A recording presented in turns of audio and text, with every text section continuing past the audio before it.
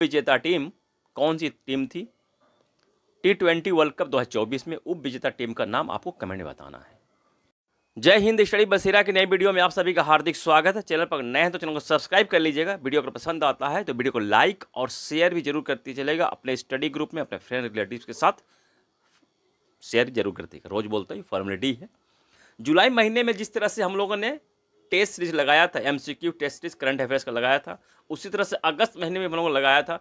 उसी तरह से अगस्त महीने में जिस तरह से इंपॉर्टेंट प्रश्नों का हम लोगों ने एमसीक्यू लगाया था, किया था प्रैक्टिस किया था। उसी तरह सितंबर महीने का भी कंप्लीट 86 क्वेश्चन का 86 86 क्वेश्चन का एमसीक्यू वीडियो अपलोड हो चुका है। एमसीक्यू के फॉर्म में जो करंट अफेयर्स हम लोगों ने डेली करंट अफेयर्स में सितंबर महीने के पढ़ा है। तो डेली का जो पढ़ा था, एक जगह कलेक्शन करके इम्पोर्टेंट एमसीक्यू के फॉर्म में अपलोड हो चुका है। उसे टेस्ट सीरीज़ लगाई टेस्ट सीरीज़ के फॉर्म में है और एमसीक्यू के फॉर्म में है।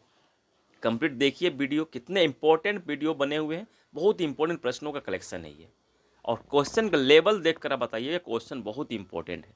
क्वेश्चन का लेवल बहुत ही हाई लेवल का क्वेश्चन सेट किया गया है। चलिए स्टार्ट करते हैं आज का करंट अफेयर्स। आज है तीन अक्टूबर और शारदीय नवरात्र का पहला दिन है। माता शैलपुत्री के ध्यान करते हुए आज का वीडियो स्टार्ट करते हैं। आप सबको ढेर सारी शुभकामनाएँ, नवरात्रि की ढेर सारी शुभकामनाएँ। तो पहला है मूड़ा स्कीम।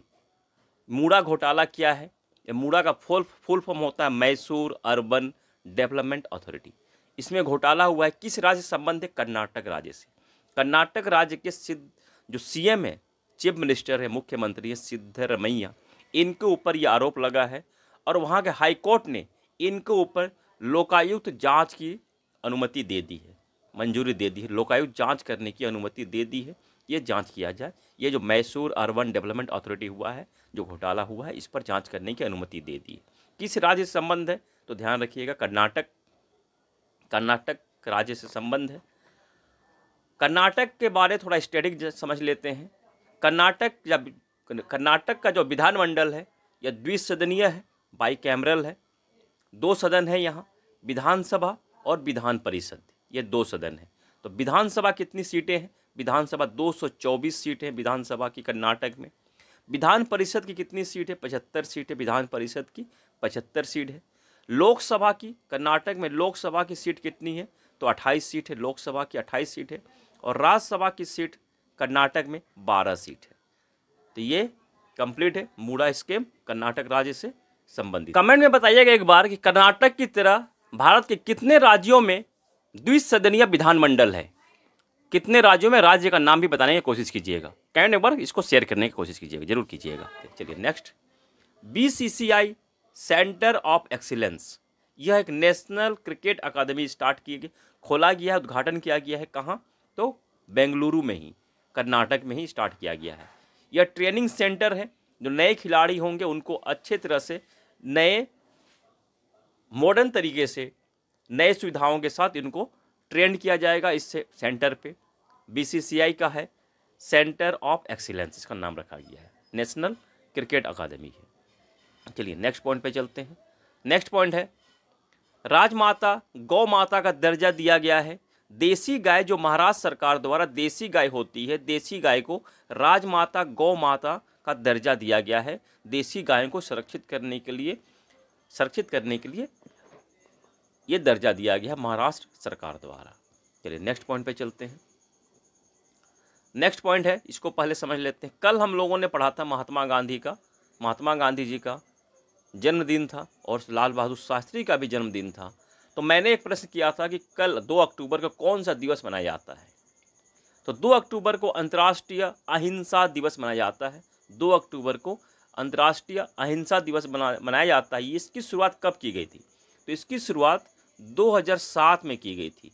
किसके द्वारा? यूनाइटेड नेशन जनरल असेंबली द्वारा। 2007 में पहली बार 2007 में 2 अक्टूबर को मनाया गया था पहला अंतर्राष्ट्रीय अहिंसा दिवस। और इसकी घोषणा कब की गई थी? तो 2007 में ही 15 जून को 15 जून को यूनाइटेड नेशन जनरल असेंबली द्वारा इसकी घोषणा की गई थी 2007 में 15 जून को, कि 2 अक्टूबर को, प्रत्येक वर्ष 2 अक्टूबर को महात्मा गांधी के जन्म दिवस के अवसर पर अंतर्राष्ट्रीय अहिंसा दिवस मनाया जाएगा। 2007 से यह दिवस मनाया जा रहा है। चलिए नेक्स्ट पॉइंट पे चलते हैं। नेक्स्ट पॉइंट है उदय उदय निधि स्टालिन, ये कौन है? तो इनको कर्न तमिलनाडु का उदय निधि स्टालिन को तमिलनाडु का डिप्यूटी चीफ मिनिस्टर नियुक्त किया गया है। ये उप मुख्यमंत्री बन गए तमिलनाडु के। ये कौन है उदयनिधि स्टालिन? तो वही वर्तमान में जो तमिलनाडु के मुख्यमंत्री हैं, एम के स्टालिन, उनके ही पुत्र हैं ये। यानी कि पिता और पुत्र दोनों ही मुख्यमंत्री और उप मुख्यमंत्री बन गए हैं तमिलनाडु के, तमिलनाडु राज्य के। तो इस तरह का थंबनेल है जो सितंबर महीने का 2024 का करंट अफेयर्स का जो एमसीक्यू के फॉर्म में जो वीडियो अपलोड अपलोड हो चुका है, दो अक्टूबर को ही अपलोड हो चुका है, सुबह छः बजे मैंने अपलोड कर दिया कर दिया था। तो आप लोग आपने इस वीडियो को नहीं देखा है तो ज़रूर देख लीजिएगा। एटी वीडियो का कंप्लीट एम के फॉर्म में इंपॉर्टेंट प्रश्नों का कलेक्शन है। इसे टेस्ट चीज़ को लगाइएगा कमेंट में ज़रूर बताइएगा कि ये वीडियो कितने इंपॉर्टेंट बने हैं। चलिए नेक्स्ट पॉइंट पर चलते हैं। नेक्स्ट पॉइंट है, दो अक्टूबर को हम लोगों ने मनाया है अंतर्राष्ट्रीय अहिंसा दिवस। एक अक्टूबर को हम लोगों ने क्या मनाया था? अंतर्राष्ट्रीय वृद्धजन दिवस, इंटरनेशनल कॉफ़ी डे और वर्ल्ड वेजिटेरियन डे। एक अक्टूबर को हम लोगों ने मनाया था। चलिए नेक्स्ट पॉइंट पे चलते हैं। नेक्स्ट पॉइंट है साउथ एशियन फुटबॉल फेडरेशन यानी कि साफ़ एस डबल ए एफ़ इसी का फुल फॉर्म होता है साउथ एशियन फुटबॉल फेडरेशन इसका आयोजन कहाँ किया गया? इसका आयोजन भूटान में किया गया है। विजेता टीम कौन सी है? फुटबॉल फेडरेशन, साफ़ की विजेता टीम कौन सी है? तो भारत है। भारत ने किसे हराया है? बांग्लादेश को हरा दिया है। दो ज़ीरो के गोल से। भारत को, बांग्लादेश को हराया है। विजेता टीम भारत है उप विजेता टीम बांग्लादेश है। इसके फाइनल का, फाइनल मैच का आयोजन थिम्पू के चाम लिमथांग स्टेडियम में किया गया था। भूटान के ही चाम लिमथांग स्टेडियम में किया गया था। भूटान की कैपिटल क्या है? थिम्पू है। चलिए नेक्स्ट पॉइंट पे चलते हैं। नेक्स्ट पॉइंट है, एक बार बताइएगा कि भूटान का राष्ट्रीय खेल क्या है?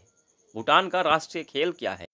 भूटान का राष्ट्रीय खेल आर्चरी है, इसे ध्यान रखिएगा। भूटान का राष्ट्रीय खेल आर्चरी है, पाकिस्तान का राष्ट्रीय खेल हॉकी है, नेपाल का राष्ट्रीय खेल वॉलीबॉल है, जिसे कि पहले दांडी बियोम्बा कहा जा, कहा जाता था, श्रीलंका, नेपाल के राष्ट्रीय खेल को।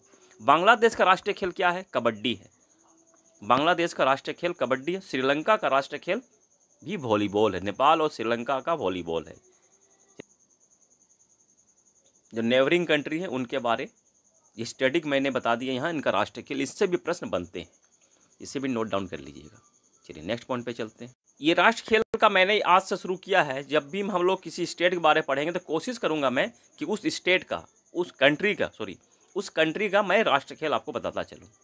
इससे क्या होगा, रोज़ अगर हम लोग सुनेंगे तो वो हमें, हमारे दिमाग पर वो छप जाएगा, वो निकलेगा फिर नहीं। फिर उस तरह की, इस तरह से एक प्रश्न, एक नंबर का जो, नंबर, एक नंबर हमारे लिए पक्का हो जाएगा। चलिए नेक्स्ट पॉइंट पे चलते हैं। लारा, द इंग्लैंड क्रॉनिकल, ये क्या है? ये ब्रायन लारा की आत्मकथा है। ब्रायन लारा कौन है? तो ये ब्रायन लारा वेस्ट इंडीज़ के क्रिकेटर हैं। वेस्ट इंडीज़ के क्रिकेटर हैं। इनकी आत्मकथा है लारा द इंग्लैंड क्रॉनिकल्स। इन्होंने इसे पब्लिश किया। चलिए नेक्स्ट पॉइंट पे चलते हैं। नेक्स्ट पॉइंट है, स्वच्छ भारत अभियान। इसके 10 साल पूरे हो गए हैं। इसे शुरुआत कब की गई थी?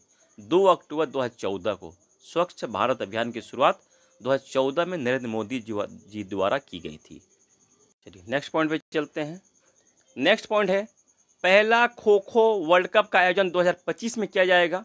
पहला है खो खो वर्ल्ड कप पच्चीस में 2025 में किया जाएगा। इसकी मेज़बानी किस देश को मिली है? तो मेज़बानी भारत को मिली है। भारत मेज़बानी करेगा पहला खो खो वर्ल्ड कप 2025 में, जिसमें कि महिला पुरुष दोनों ही टीमें पार्टिसिपेट करेंगी। चलिए नेक्स्ट पॉइंट पे चलते हैं। माँ दुर्गा अभियान। हर घर दुर्गा अभियान के तहत माँ दुर्गा अभियान को शुरू किया गया है महाराष्ट्र सरकार द्वारा। इसका उद्घाटन किसने किया है? तो लोकसभा अध्यक्ष ओम बिरला द्वारा इसकी शुरुआत की गई है। महाराष्ट्र सरकार महाराष्ट्र में। इसका लक्ष्य क्या है? क्यों शुरू किया गया है? माँ दुर्गा अभियान, यानी कि हर घर दुर्गा अभियान को तो लड़की और महिलाओं को शारीरिक और मानसिक रूप से मज़बूत बनाने के लिए, मज़बूत बनाने के लिए इस अभियान को शुरू किया गया है। समाज में हम अभी सुन रहे हैं बहुत सारे हमेशा से न्यूज़, कुछ न कुछ हर एरिया में, कि लड़कियों के साथ बाहर जो काम करने जाती है, उनके साथ अभद्र व्यवहार, अलग, या बोलने में भी नहीं बनता है। उस तरह का व्यवहार किया जा रहा। इसलिए इनको शारीरिक रूप से और इससे स्थितियों से निपटने के लिए, उनको विरोध करने के लिए, लड़कियों और महिलाओं को शारीरिक और मानसिक रूप से मज़बूत बनाने के लिए माँ दुर्गा अभियान, हर घर दुर्गा अभियान को शुरू किया गया है। यानी कि दुर्गा माता की तरह वो भी मज़बूत हो जाए ज़रूरत पड़ने पर अपने शारीरिक और मानसिक ताकत का इस्तेमाल कर सकें। चलिए नेक्स्ट नंबर पे चलते हैं। नेक्स्ट पॉइंट है विराट कोहली। ये विराट कोहली ने एक नया रिकॉर्ड बनाया है। इन्होंने टेस्ट मैच में, टेस्ट क्रिकेट में सताईस सबसे तेज सताईस हज़ार रन बना लिया है। रिकॉर्ड किसका तोड़ा है? सचिन तेंदुलकर का। सचिन तेंदुलकर जी ने 625 पारियों में सताईस हज़ार रन बनाया था, परंतु विराट कोहली ने पाँच सौ चौरानवे पारी में ही सताईस हज़ार रन बना लिया है। तो सचिन तेंदुलकर जी का रिकॉर्ड इसने, इन्होंने तोड़ा है विराट कोहली ने, इसलिए यह इम्पोर्टेंट बन जाता है। पॉइंट भी है, क्रिकेट से ही रिलेटेड है। इंपॉर्टेंट पॉइंट है, यहाँ एक एक पॉइंट को हम समझेंगे। नौवा संस्करण, आईसीसी महिला टी ट्वेंटी वर्ल्ड कप की शुरुआत आगाज़ हो चुकी है। तीन अक्टूबर से स्टार्ट हो चुका है। 20 अक्टूबर 2024 तक चलेगा, यानी कि 20 अक्टूबर को यह फाइनल मैच खेला जाएगा, टी ट्वेंटी, महिला टी ट्वेंटी वर्ल्ड कप 2024 का। आयोजन कहाँ किया जा रहा है? यूनाइटेड अरब अमीरात में। यानी कि संयुक्त अरब अमीरात में किया जा रहा है। या बांग्लादेश में होना था। बांग्लादेश में 2024 महिला टी ट्वेंटी वर्ल्ड कप का जो बांग्लादेश में होना था, परंतु बांग्लादेश में अभी ज़बरदस्त, भयानक रूप से राजनीतिक उथल पुथल की स्थिति बनी हुई है। तो उसके कारण से इसको स्थानांतरित करके यूनाइटेड अरब अमीरात में कर दिया गया है। यूनाइटेड अरब अमीरात में किया जा रहा है दुबई और शारजा में। यूनाइटेड अरब अमीरात के ही अमीरात हैं, दुबई और शारजा वहाँ यह किया जा रहा है। तो दसवां आईसीसी महिला टी ट्वेंटी वर्ल्ड कप 2026 का आयोजन कहाँ किया जाएगा? तो इंग्लैंड में किया जाएगा। और दसवां आईसीसी पुरुष टी ट्वेंटी वर्ल्ड कप 2026 का आयोजन श्रीलंका और इंडिया कर रही है। संयुक्त रूप से इंडिया और श्रीलंका करेगी 2026 में। 2024 पुरुष, जो नौवा संस्करण था नाइन्थ एडिशन था आईसीसी पुरुष टी ट्वेंटी वर्ल्ड कप 2024 का आयोजन कहाँ हुआ था? तो वेस्ट इंडीज और यूनाइटेड स्टेट ऑफ़ अमेरिका यानी कि यूएसए वेस्ट इंडीज और यूएसए ने संयुक्त रूप से इसे किया था। वेस्ट इंडीज एंड यूएसए ने द्वारा संयुक्त रूप से किया गया था। तो आप विजेता टीम तो भारत रही थी। विजेता team T twenty world cup 2024 का। भारत विजेता टीम रही थी। आपको कमेंट में बताना है कि उप विजेता टीम कौन सी टीम थी? उप विजेता टीम कौन सी टीम थी? टी ट्वेंटी वर्ल्ड कप 2024 में उप विजेता टीम का नाम आपको कमेंट में बताना है। और आशा करता हूँ आप लोगों को सेशन पसंद आया होगा। आज के लिए इतना ही। मिलते हैं फिर नए वीडियो में। तब तक के लिए जय हिंद। स्वस्थ रहें, मस्त रहें। धन्यवाद। फिर से एक बार आप सभी को नवरात्रि की ढेर सारी शुभकामनाएँ। हमें माता शैलपुत्री मानसिक और शारीरिक रूप से मजबूती प्रदान करें और आप सबको सफलता प्रदान करें। इसी आशा और उम्मीद के साथ मिलते हैं नए वीडियो में। धन्यवाद। जय हिंद। जय माता दी।